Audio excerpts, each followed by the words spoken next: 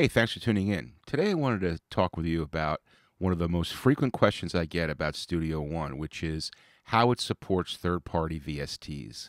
Now, I posted a video about this about four years ago, but I figured it was time for an update and to go a little bit deeper.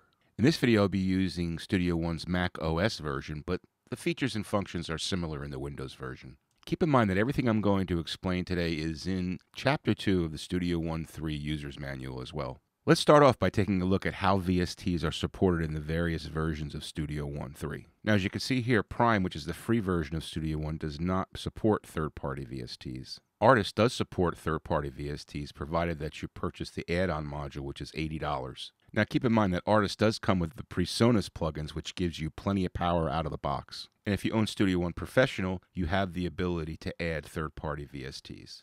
Now, when you start up Studio One, it goes through the process of scanning for VST files.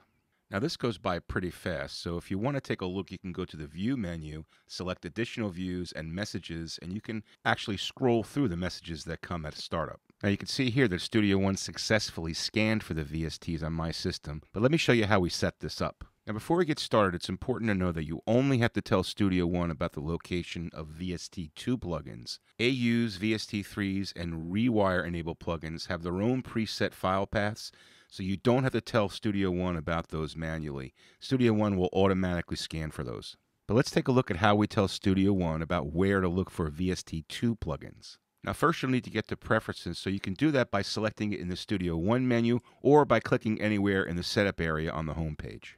Next, you'll want to select Locations and VST Plugins. Now, we have two options here. The first is Scan at Startup, which we definitely want to have checked.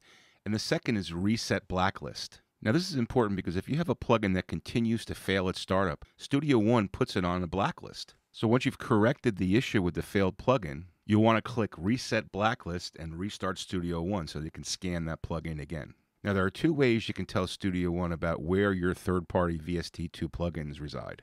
The first method is you can click the Add button and tell Studio One where the VST folder resides on your computer. And you can see once you do this, it shows up in your location list. The second method is much easier. You can actually drag and drop the folder right into the locations window. And again, there it is in your locations list. Now I'm removing that location because I already have mine set up.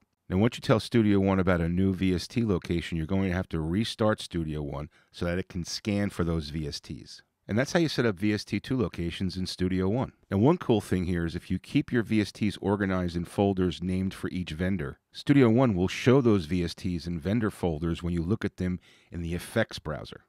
And that's the deep dive into how Studio One handles third party VSTs. Thanks for watching, and I hope this information was helpful. Please don't hesitate to post questions in the comments below or email me at the address listed here. If you like what you saw, please take a second to click the like and subscribe buttons. Thanks for watching and good luck with your home studio.